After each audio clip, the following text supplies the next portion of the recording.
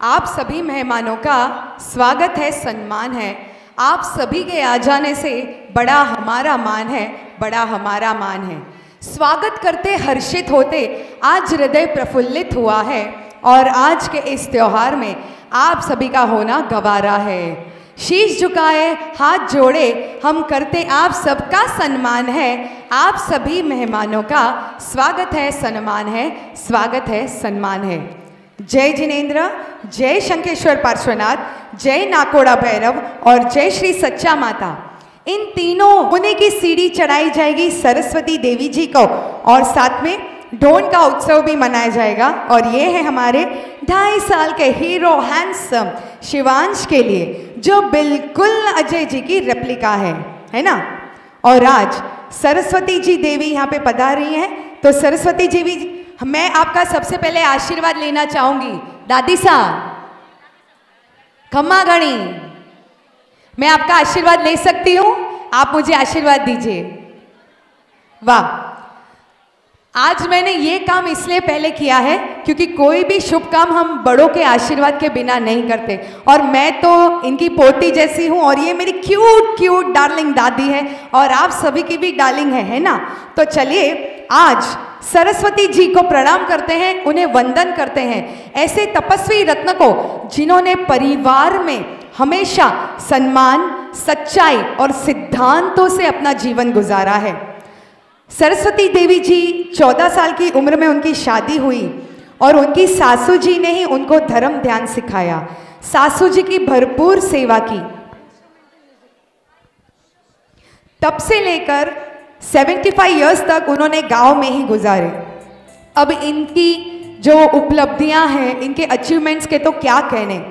Minimum minimum मैं बोल रही हूँ मिनिमम इन्होंने 100 शादियाँ करवाई हैं और जॉइंट फैमिली में धनराज जी, रतनलाल जी, पुखराज जी को साथ लेकर चली हैं।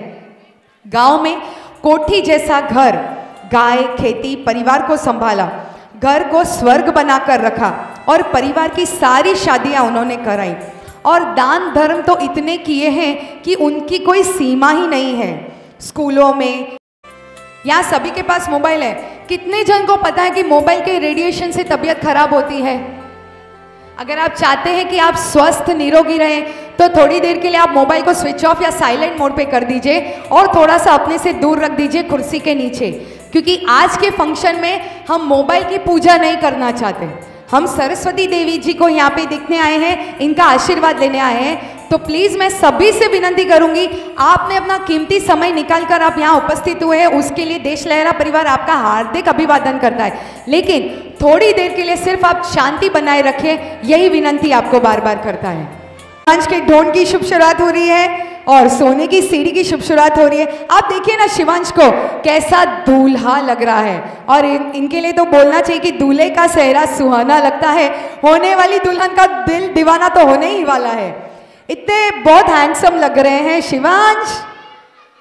तलवार लेके ऐसे पोज दे के इन्होंने फ़ोटो खिंचा कि आ हा हा। तो आइए हम सोने की सीढ़ी की शुभ शुरुआत करने जा रहे हैं। बहुत कम लोग इस दुनिया में इस मुकाम तक पहुँचते हैं जो 92 इयर्स के 92 के बाद का जीवन जी सकते हैं और अपने परिवार में चौथी पीढ़ी को देख सकते हैं।